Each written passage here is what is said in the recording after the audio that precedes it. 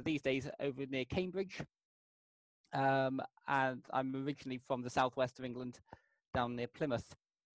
Um, been licensed ooh, since I was 14. That was in 1994, I think. So uh, you can do the math. Um, but yeah, so reasonably active in the hobby. Um, sort of key interests are contesting, particularly on HF.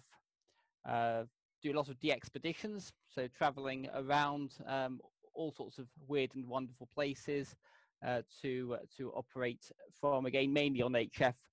Uh, so recent trips have included uh, Svalbard, Montserrat, and uh, the UK sovereign base area on Cyprus, uh, ZC4. So fair, fair bit of travel. Um, and um, yeah, and, and also summits on the air is the other activity I do a lot of. So uh, so climbing up hills and, and taking portable equipment.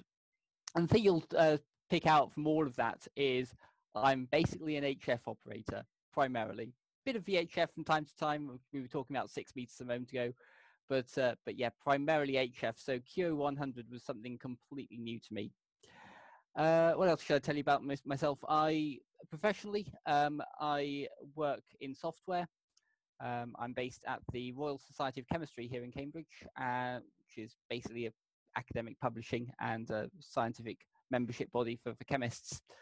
Uh, so yeah, that's that's kind of all about me. Um, so this is going to be a slightly unusual talk, uh, discussing it with Dave uh, earlier well, when we were putting the plans together for this. Um, problem with QO100 is, is, it involves big dishes and uh, big bits of equipment and uh, boxes of equipment. So uh, the easiest way to do it, I have already put together a video on YouTube. So uh, I'll take you through that. That kind of explains the whole process that I've been through and um, put it all together. And then, as Dave said, we'll uh, we'll go to a Q&A at the end if you have any questions. Uh, I should caveat all this with the fact I am absolutely not uh, an absolute expert on the QO100. Uh, this is very much the beginner's tale, uh, how I got going. Um, largely, uh, I think talking to, to, George about this when we started, largely following George Smart M1GEO's guides, which I believe you've been following as well in your club. So um, yeah, getting started, how how an HF operator sort of approaches QO 100. And again, this isn't this isn't the only way of doing it. Um, in fact, this is a way of doing it. That's all. And I took the approach of um, of starting with something very simple and basically building the equipment out. I didn't want to start off by investing a whole load of money in a whole load of equipment and then allow it not and then have it not working or something. So a lot easier to to start small. Um, the transmitter receiver I, am going to show in a moment is the uh, the Lime Mini SDR, which I already had anyway for other sort of SDR based projects. So uh, that's kind of where I started from. Uh, so with that, I shall uh, switch to uh, to the video. Uh, this is kind of like half an hour. And then, as I say, we'll uh, go to some questions at the end, if that's okay.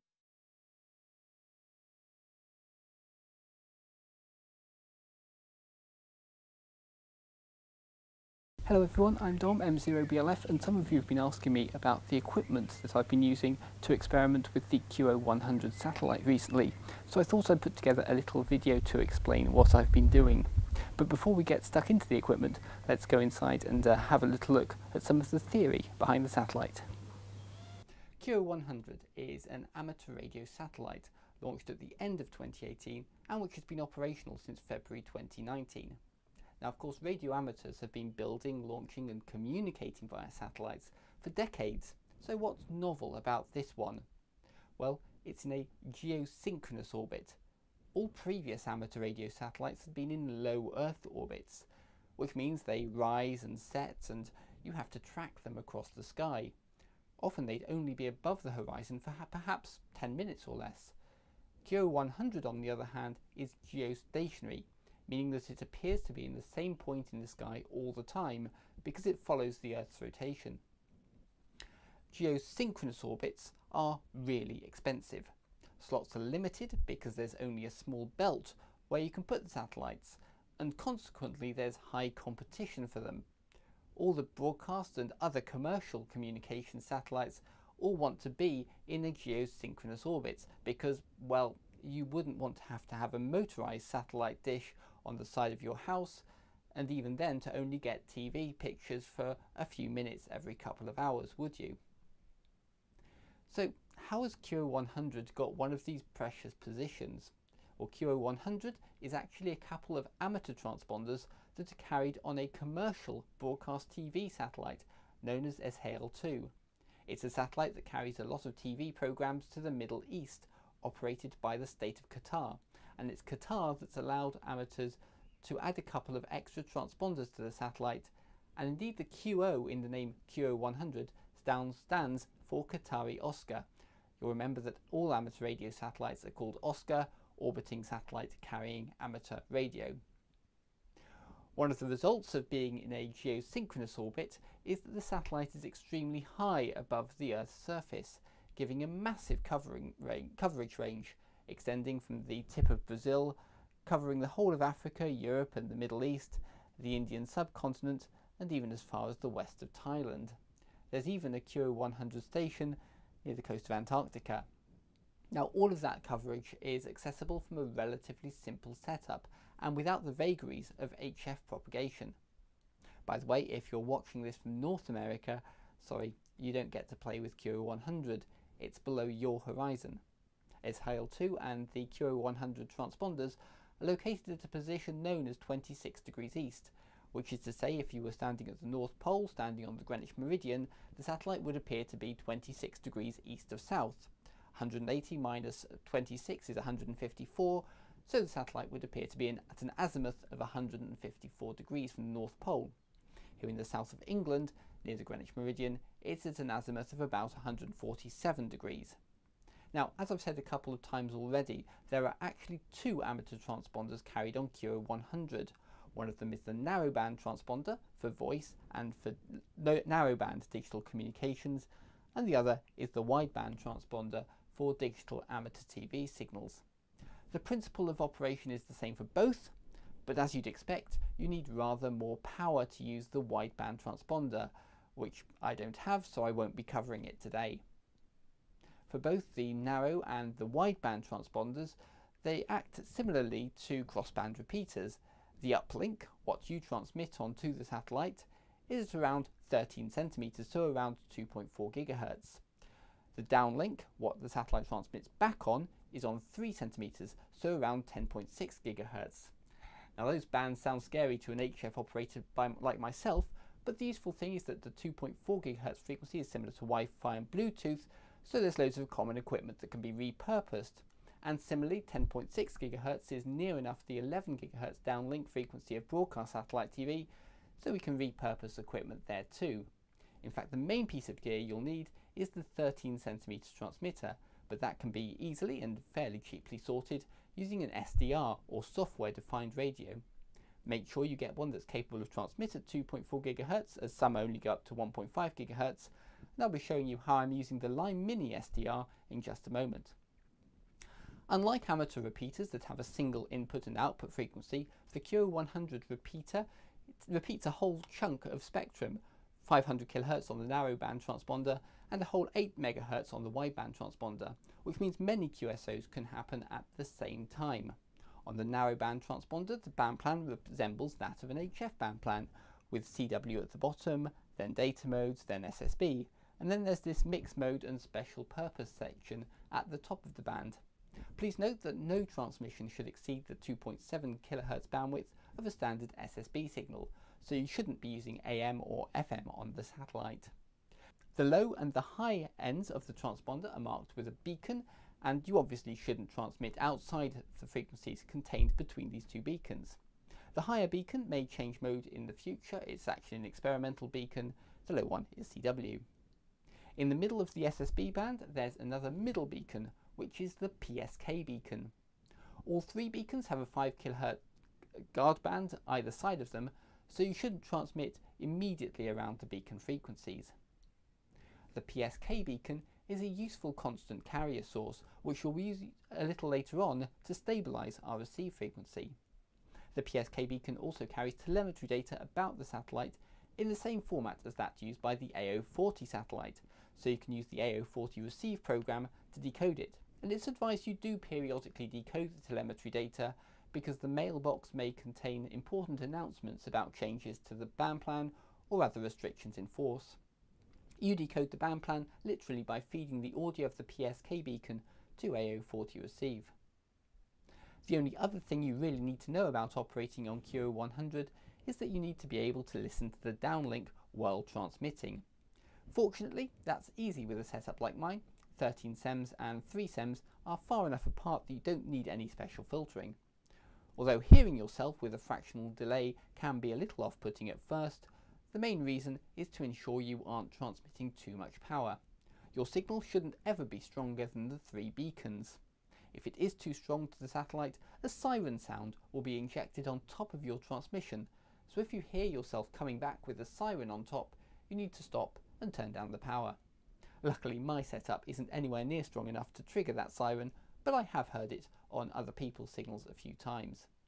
Remember, we're effectively guests on this commercial satellite, and if we don't play nicely, we may not get a similar opportunity in the future. Okay, well that's the theory. How do you actually get going on the QO100 satellite? Well obviously we've got the dish here, but a lot of the magic is actually in this box here. So let's open that up and I'll talk you through what I'm using. Okay, so uh, let's uh, talk first of all about how receive works.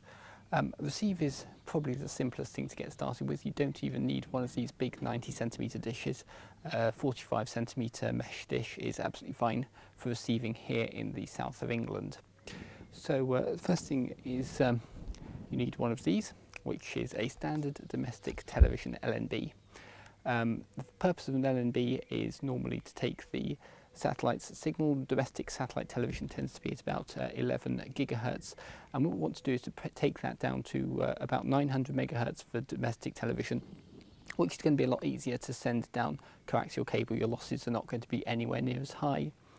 Uh, fortunately, the downlink from QO100 to about 10.6 gigahertz is within the range of most of these LNBs, more or less, and we can then just get the signal down to about 730 megahertz. Now I should say that everything I'm showing you here is just one way of doing it. It's absolutely possible, for example, to modify the LNB uh, and get it down to the 70 centimeter amateur radio band instead. Um, but I'm using a Lime Mini SDR, which means I've got frequency agility. I can very easily just tune into the 730 megahertz where the LNB is coming out. What I would say is if you're getting one of these, um, make sure you get a PLL LNB. Uh, there are a couple of types out there. Um, for domestic television, it doesn't really matter how frequency stable the, P uh, the LNB is. Uh, the, carry, the transponders are very, very wideband, very, very strong. And so frequency stability is not a major issue.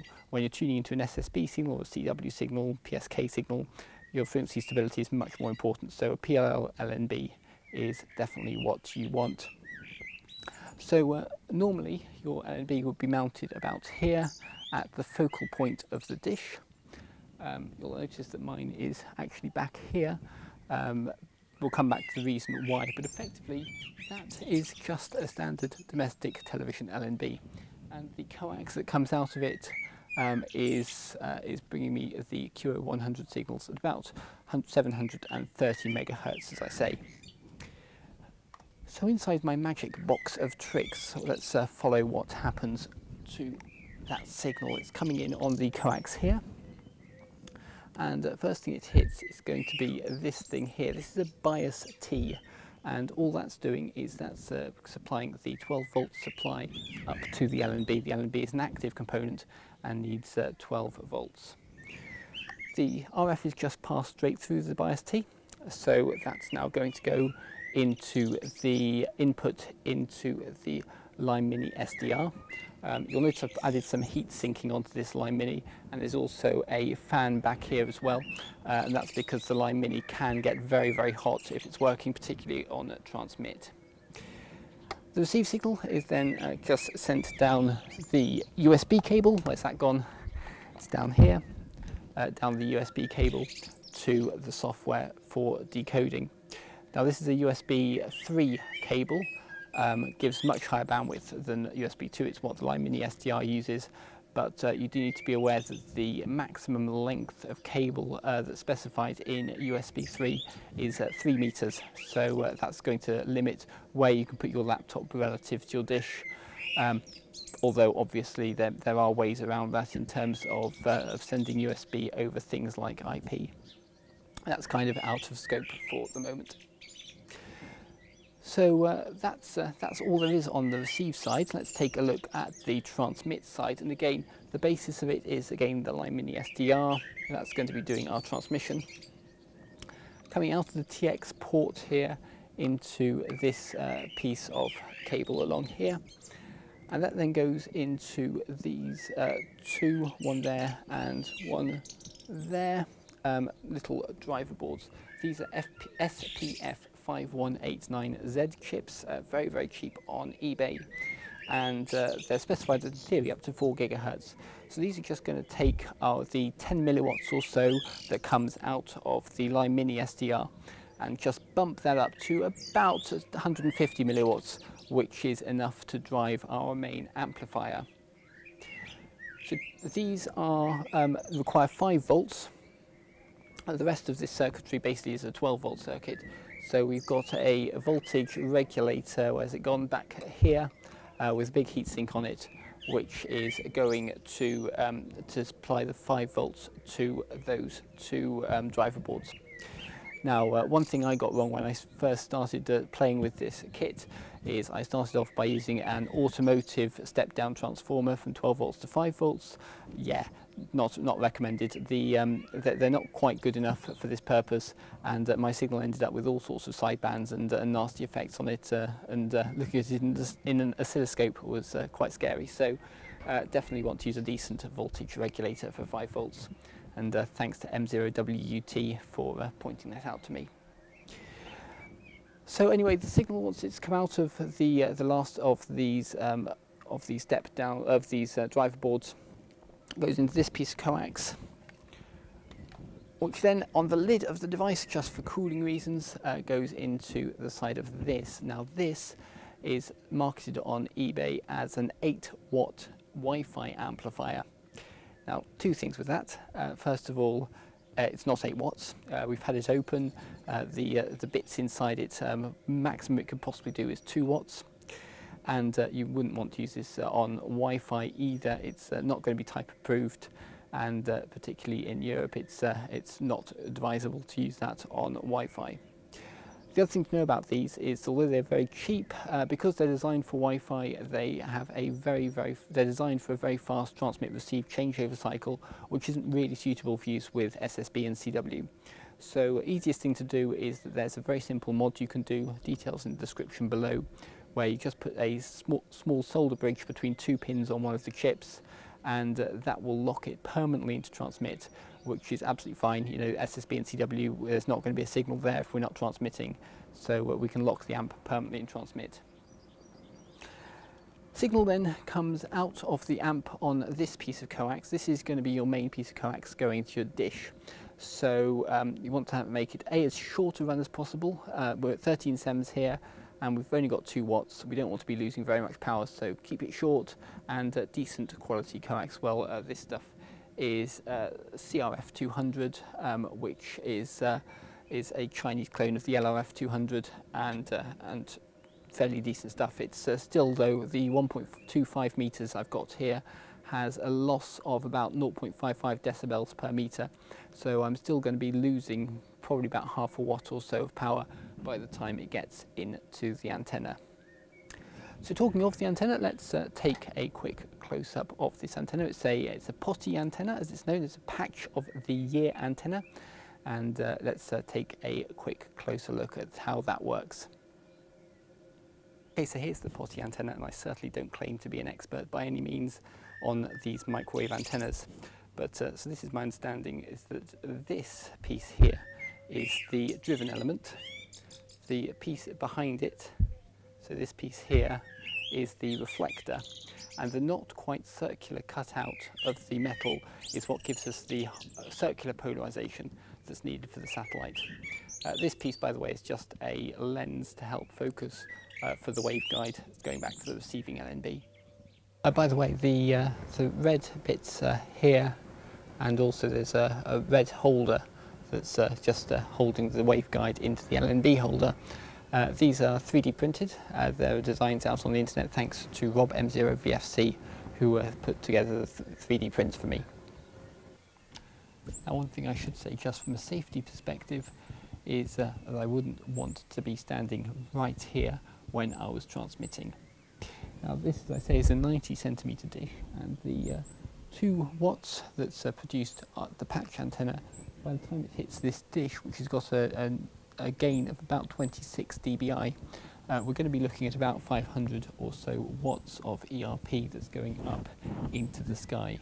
So uh, fortunately it's got a fairly high angle of takeoff um, which means that by the time you get to the other side of the road it's going to be way above the, uh, the tops of houses but uh, I wouldn't want to be standing right here as I say. The other thing I should mention is that uh, by the time you're getting up to dishes of this sort of diameter, the larger the dish, the slightly more difficult it is to get it exactly bang on where the satellite is. It is just a pinpoint in the sky. So uh, if you've got a 45 centimeter dish, it's going to be quite easy to find that signal. Uh, it's not quite so uh, so directional. At these big diameters, uh, certainly if you're getting up to uh, the sort of 1.2 meter di diameter dishes, which you're going to need to do uh, if you're going to get onto that wideband transponder, then you're going to be needing to have very, very precise alignment of your dish.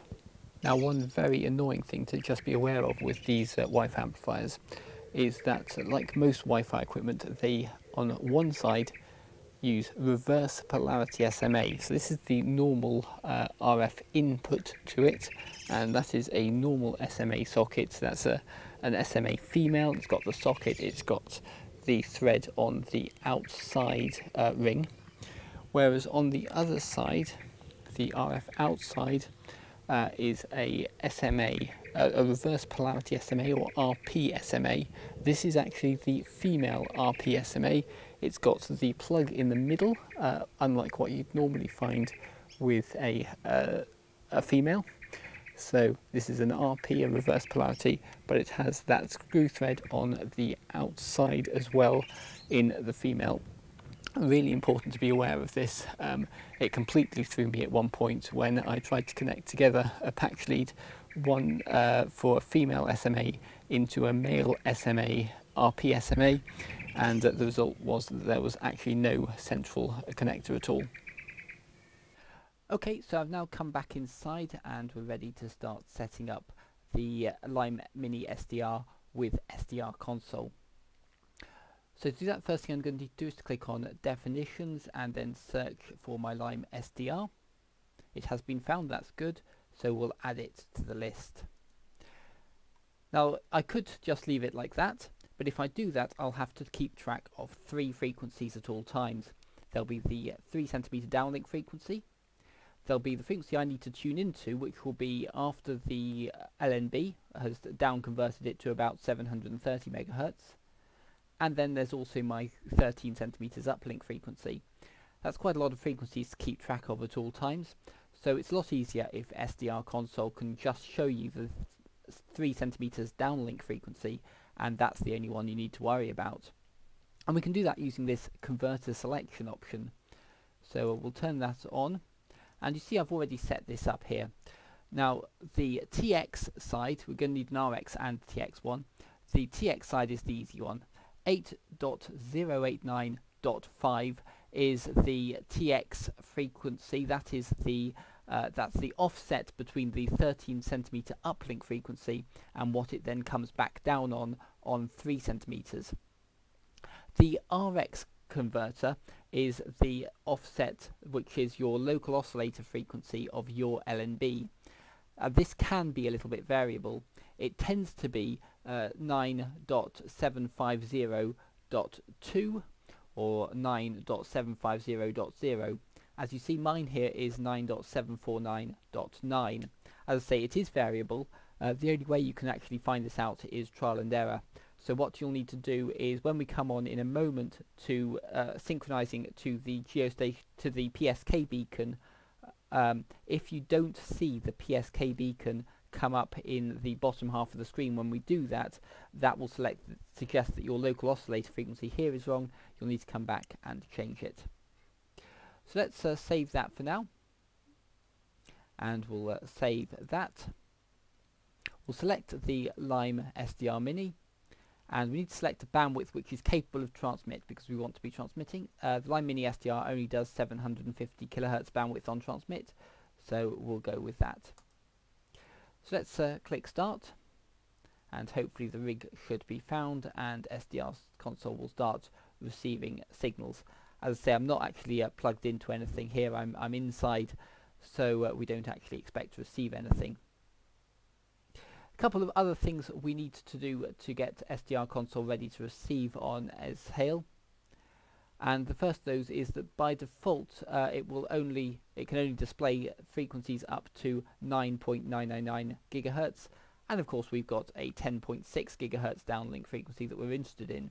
So we need to add an extra digit. That's uh, very easy to do. Uh, you just go to view and options and then on the spectrum tab just allow a frequency range up to 99.9 gigahertz. That will add an extra uh, digit on the next restart. Next thing to do is we currently don't have a transmit panel uh, so we wouldn't be able to access any of the transmit features. Uh, we do that just by going to transmit and then to DSP and that's brought up our transmit um, our transmit panel. So just to show you around here we've got on the left hand side we've got our receive frequency uh, we've got the, uh, the sound card that's being used to receive signals and we can also set the modes and the filters that we are interested in. On the transmit side uh, we can we've got the transmit frequency we can optionally choose to synchronize that with our receive frequency. You've got uh, transmit mode and again you can synchronize that so it's the same as your receive mode then you've got the TX button, which is what we'll be actually using to transmit with, and your drive. You'll want to, to turn the drive up, obviously, to get any RF out. Down here is where we'll select the microphone we're going to be transmitting with. Uh, so that's um, got us our transmit panel. Um, the last thing to do is we'll need to synchronize our LNB with the geostationary beacon on the satellite and to do that we go to the view tab and to the select more options uh, icon and we're going to need to turn on the geostationary beacon. Now when I click OK it'll want to restart the software uh, so that it can add that extra icon to my toolbar to allow me to do that geostationary beacon synchronization. So let's click OK and restart. So the program's now restarted. I've got my geostationary beacon icon here and I've got the additional digit uh, for the gigahertz uh, that's available to me. So it uh, looks like we're all ready to go. Let's uh, go outside and wire it all up. We'll need to uh, connect in, of course, the laptop, a USB headset, and uh, of course we need to put the top on the box of, of equipment as well. So now we're going to need to correct any drift in the LNB and the way we're going to do that is by locking SDR console to the PSK downlink beacon, that beacon in the middle of the uh, SSB spectrum. So I'm going to click on this on the view tab on the geostationary beacon and what you get here is another little block opening up at the bottom of your screen which includes, hopefully you'll be able to see fairly obviously, the uh, PSK beacon. It's uh, here at about 7489800 for me. If we now press the play icon over here, that will now lock everything and you'll see that on the top half of my display all the frequencies have shifted. This now means that my frequencies are corrected uh, for the drift of the LNB and as long as nothing drifts too far that will now stay locked. So that's about it, let's give it a go.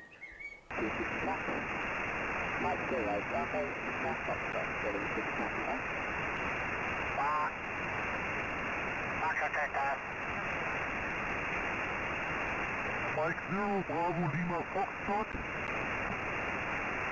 Das ist Delta Lima 2, Quebec, Bravo, hier auf QB. Okay, Delta Lima 2, Quebec, Bravo. Delta Lima 2, Quebec, Bravo, Tom, Mike Zero, Bravo, Lima, Foxtrot. Uh, very good to meet you. Nice to meet you satellite to about 5 and 8. Uh, 5 and 8. Name is John at Delta Oscar Mike. Delta near the city of Cambridge. Cambridge in Juliet Oscar 02 Bravo Golf. Juliet Oscar 02 Bravo Golf. Uh, you, Tom Mike Bravo Foxtrot. Uh, good, uh, good morning, uh, Mike Zero, Bravo Lima Foxtrot, Delta Lima 2, Quebec Bravo. I must apologize, I was not on your frequency when I called you first, uh, because I was not finished with uh, setting up uh, the VFO of my uh, 2 meter transmitter. and it, uh, I, was missing 200 hertz. Uh, uh, I, I had the kilohertz fixed, but the, um, uh, the decimals not. Okay. Uh, thank you very much for um, for the call. Uh, my name is Klaus. Uh, Kilowatt Lima Alpha Uniform Sierra. And QTH is Cologne. Uh, Charlie Oscar Lima Oscar Golf November Echo. And uh, yeah, locator here is Juliet Oscar 30 Mike X-Ray. Juliet Oscar 30 Mike X-Ray. Been uh, writing QSL Cup, doing some things, looking for a pen heard you calling and uh, then it had to, uh, everything had to go uh, real quickly before, uh, before you, have, you were gone. Okay, anyway, Tom, thank you. Uh, Mike Zero, Bravo Lima, Fox Delta Lima 2, Quebec, Bravo. And so that's QO100 in a nutshell. If all of this sounds interesting, but a bit too much investment right now, a great place to start is the British Amateur Television Club's Web SDR. That allows you to listen to the satellite via the web without spending anything. You simply connect to a receiver at the famous Goonhilly Earth Station in Cornwall in southwest England. There's a link in the description below. And finally, of course, a massive thanks to a whole load of people at AMSAT, particularly AMSAT Germany, and the state of Qatar, who've all made QO100 happen. I've been really enjoying the satellite, and I hope you do too. I'm Dom, M0BLF. Thanks for watching.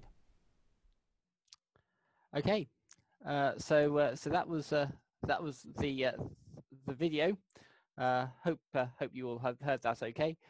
Um, so yeah, um, as as I said there, that that's just one way of doing it using using that setup with the Lime Mini SDR to do all the all the grunt work. you can obviously also use up converters and down converters. You can modify the LNB to uh, to bring the signal down to the 70 centimeter band. Uh, you can GPS lock the LNB so you don't have to do the frequency correction based on the beacon. So there's a whole myriad of different approaches you can take. Uh, this was uh, purely the the one that I found easiest to get started with based on where I was starting from. So uh, yeah, that's that's I think pretty much all all there is to say on that. But yeah, happy to take any questions. Okay, Dom, uh, one of the questions I sort of had when you were going through uh, the setup and everything else there, do you think this kit could be made portable? You know, is it possible for a field day using QO100? How would you even do that? Is there is there portable kit around that can be used for it? And the the sort of equipment that I've got there is is pretty portable actually. Um, the the dish on the tripod is you know, as long as you can carry the 95 centimeter or 80 centimeter dish, 90 centimeter dish, um, that's that's your limiting factor, right? Because the rest of it is actually really very portable. It's that that one box, and uh, you need to get a, a 12 volt supply into it, which you know um, a field day generator should sure. be perfectly adequate. And then a laptop. Uh, yeah. Um, if anyone has any other questions, you can wave your hand or, or raise your hand using the Zoom function or unmute yourselves there and feel free. How much, uh, actually, how much are you generally talking? Maybe even Dom for that? Oh, um, so how much talking? Uh, so the um, the Lime Mini is probably the most expensive single component. Uh, I think they are currently going at about uh, 250 pounds, something in that sort of region. Um, then what else have we got? Um, a dish was about thirty pounds.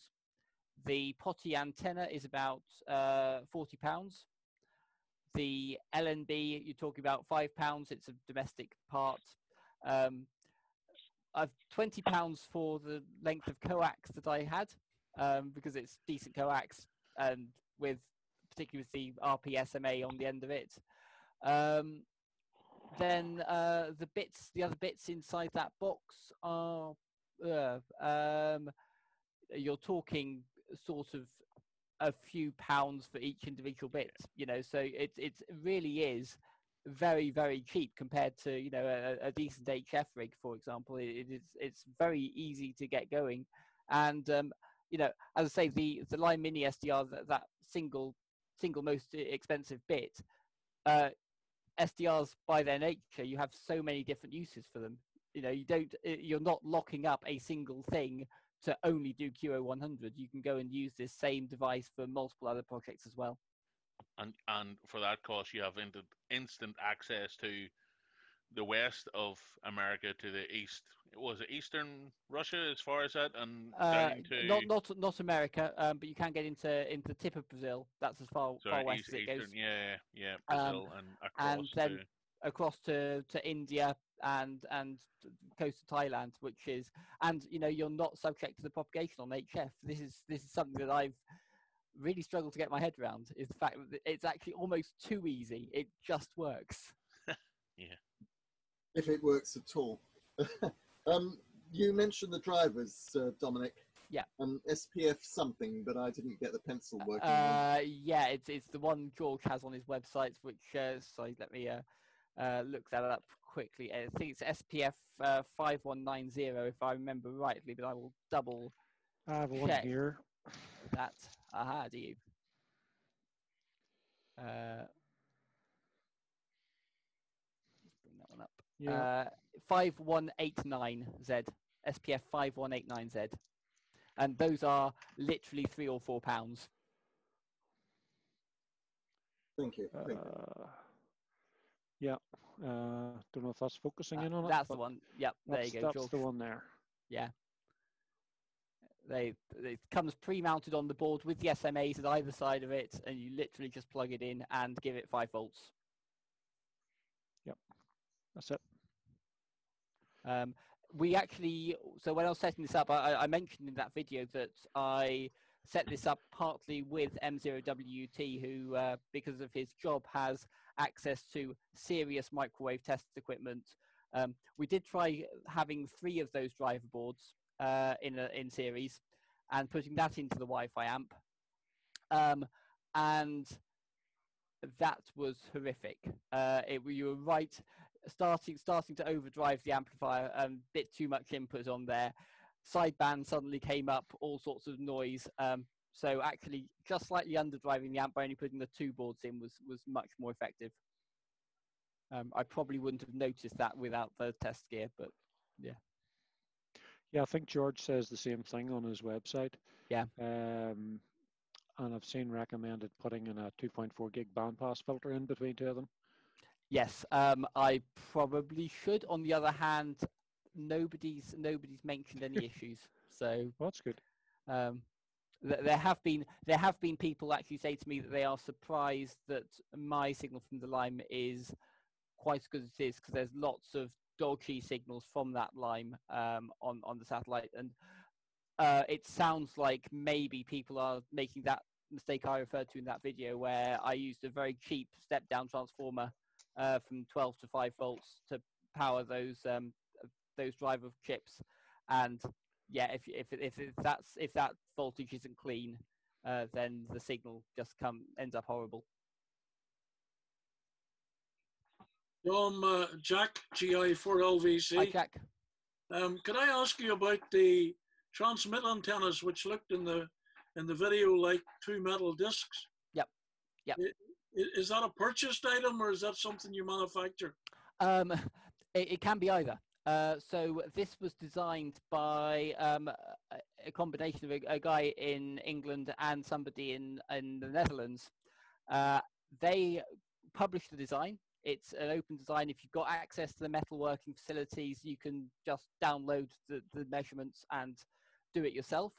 However, the guy in Holland has now actually gone into business, or partly manufacturing these himself, and those are sold through various online retailers. Uh, I actually got mine from a radio shop in France. Um, I don't think there's a UK distributor at the moment, but um, so I, I, imported mine from France, uh, and it was I think 45 euros, something like that. So really pretty good value. It, it saves saves an awful. There's there's one thing you have to solder. That's about it. So yeah. Um, yeah, Dom, it's Passion Radio in uh, in Paris. That's the one, yeah. And uh, I did the same as you. I bought one, and then I used it as a template to uh, to build this one. Yeah. So this one's a bit rough and ready compared to the bought one, but it's 22 mil copper pipe, and it's one mil brass sheet. I fitted a BNC on it, and soldering was the hard bit too much heat in the brass bends. But uh, yeah, an afternoon makes one up. Yeah, it's a really nice, really simple design, and it, there's lots and lots of people using these. They seem to work really well. Uh, and you've obviously got the, the waveguide there, which means you can put the LNB at the end of it, and then you're not because the, the other way of doing it is to have two dishes, one for transmit, one for receive. That obviously starts to use up garden space. So having that waveguide and being able to put the LNB at the end of it just keeps everything that bit more compact. How much uh, hassle to get the, the lengths, the distances right on the uh, uh, LNB going forward towards the dish? Um, there is. Uh, I had no particular hassle with that. The the only thing I had I've noticed is that it depends on your dish design a bit whether or not because that um, that of the ear antenna, the uh, the reflector, if you like, is obviously quite quite a large diameter, and I found uh, there are some dish designs where it's very difficult to fit that at the focal point of the dish, just because it's it's much larger than the standard LNB would be. Um, if you look at the video, my, my uh, dish has actually got a, a bent arm for, for that LNB holding, which is a slightly unusual design but I got that dish specifically because it does have that ability to hold that extra diameter uh, without, um, because otherwise you're, you're going to have have your patch of the ear antenna not quite at the focal point, which is obviously going to lose a bit of gain um, by doing that. So, um, but you make make do with what you can. It doesn't. The LNB just sits on the end of the waveguide. Um, there, there's no there's no real measurement there at all. It just sits on and you mentioned that uh, plastic lens. Yes. Uh, how critical is that? And is that something that you get off the top of a toothpaste tube? uh, so that lens actually comes as part of the kit from Passion Radio. Uh, there are uh, there are two designs. Uh, there's an original design and there's that one. Apparently, the new that's right. There you go. George is holding it up for us. Uh, the new design apparently is better with the offset dishes. The old design, which is slightly more pointy, uh, is better with a with an uh, other types dish. It's literally just a piece of plastic, um, and it, it, it just fits in uh, fits in at the, the top of the waveguide. Uh, but as I say, it does come as part of the kit if you if you buy the, the bought one.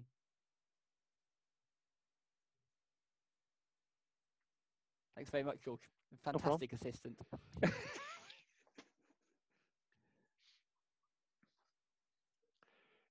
I know uh, uh, on George's uh, website, he talks about he's, he's using the uh, the cheap Chinese uh, preamplifier, but he also talks about the analog devices unit. Have you tried that or? I haven't yet. That's probably the next thing. Uh, as I say, I, I, I, wanted to get started with as little investment as possible, just because I didn't know how it was going to work out, um, whether I'd enjoy it or not. So I, I, I was trying to keep it, keep it fairly cheap to start with. Now that I, I do know it works, um, well, uh, I think probably looking at looking at a decent amplifier is the next thing on the list. Um, but yeah, um, that, that's then also at that point that starts to open up the, the world of the, the wideband transponder and, and TV at that point. So once you've got a bit more power behind you. And would you recommend everyone giving this a go then, Tom? Um, look, uh, amateur radio is a, a, a, broad church, right? There's there's there's all sorts of things you can do in the hobby. It's it's just one more facet. Uh, so if if you think you might be interested in it, um, go for it. Um, but you know, it's it's not going to be to everyone's taste. To say, uh, in some senses, it's a bit too easy. Um, also, you know, but but for me, it was largely the the challenge of, of moving from HF into this whole world of microwaves and dishes and things I'd never had to deal with before. So it was it was really interesting, really interesting, and um, well worth doing, I think.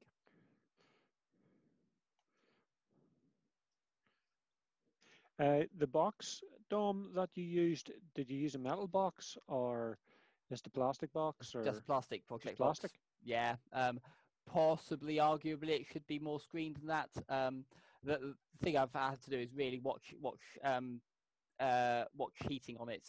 The as I say, need to keep the cable, the coax length from that box up to the LNB, uh, uh, up to the POTY as short as possible.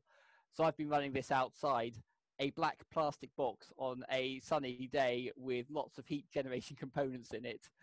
Um, I had awful problems with to start. That's why the the um, uh, the heat sinks in there. That's why the fans in there because the uh, the Lime uh, the Lime Mini SDR just really does not like it at all. Um, I actually had it completely shut down on me at one point just because it overheated. So uh, yeah, just need to watch watch heat. So air circulation and temperature and everything else is definitely something to look out for if anyone's setting up any of these. I, I would stations. I would say so, particularly if you're going to have things outside. Um, yeah, uh, if you just go mouse all in the box and don't think about air, it will it will not survive very long, as I found. Uh, maybe a Bacofoil jacket would be good. Possibly, yeah. As I say, I've I've, um, I've responded by by just drilling lots and lots of holes into the box and sticking a fan in. Um, although that does undo the weatherproofing, which is what I'd originally hoped to get from it. I'd hoped to be able to leave it outside, which I now can't do. But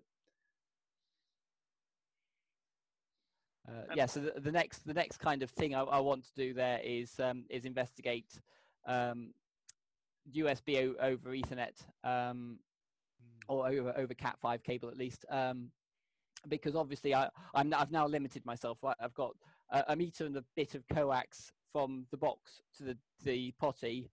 I'm limited by a three meter USB cable to the laptop. That means my laptop's now got to be within four meters of the dish uh, that's that's all I've got. So uh, so by by moving the USB into a, a, USB over over Cat5, although that starts to get expensive at that point, but at least I, I could then actually operate the the laptop remotely. And from your the comfort of your own shack, rather than having to be outside. Yes, yes. Anyone else have any other questions? Now's your now's your chance. Cool. Well, uh, um, uh, my my email address and everything is on qrz.com. If anyone does think of anything afterwards, very happy to, to take that up separately. Uh, in the club, uh, as uh, we were saying before we got started, Dom, we had been been working on uh, on a receive side station for quite a while. We've had that up since sort of probably spring last year. Um, very simply set up. Well, one of the club members donated us, donated us a dish, but it's uh, it must be 1.2 meters. It's absolutely massive. Um, which getting it uh, pointing directly at the satellite was great fun. Uh, yep. once we got it, we were getting great signals, but uh, we, we had we had lots of problems uh, initially. Um, and I'm just thinking about the issues you had initially with the power supply on transmit, and we might have some of those on receive with the power supply we were using to drive the LNB. Uh, it wasn't a particularly high quality regulated power supply. It was a wee, wee brick power supply. It could have been something in there. We would get very strange modulation on receive. Okay. Um, I, I, go on. Uh, no, I was going to say once we got the the synchronization with the beacon going, things improved, but there was still it was almost an auroral effect on on receive, which I don't think. Uh, yeah, Andrew's there. I don't think we ever got to the the bottom of it fully. Okay, interesting. Um, don't have any ideas myself. I'll ask around and see if anyone's got any ideas about. I've not heard of an auroral effect. Um, I would be very surprised, mind you, if if a slightly non-linear power supply actually took uh, caused that much trouble for the LNB. Um, th- these LNBs are able to basically take anything. You know, they, they will. Um, they when they're in use for for satellite TV reception, they switch polarity based on the voltage input into them, and they will quite happily get um, anything take anything from about 11 up to 20 odd volts because somewhere around the 14 15 volt point is where it switches from a vertical to horizontal polarization Okay. um, so they will basically take anything Now you mentioned that, what is the polarization uh, that's needed for uplink and uh, it's it's all circular Okay. uh, which is why the the, the POTY Yeah. has got the um, got the cutouts on it